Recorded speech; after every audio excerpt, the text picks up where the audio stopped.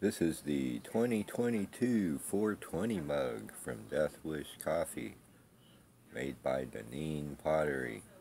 It's a limited edition numbered piece.